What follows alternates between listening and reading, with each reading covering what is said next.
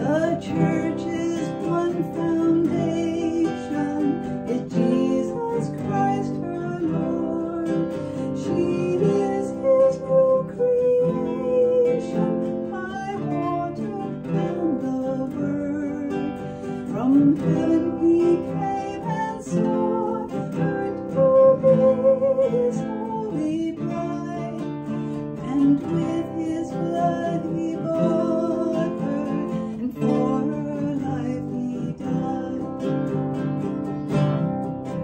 mid toil and tribute.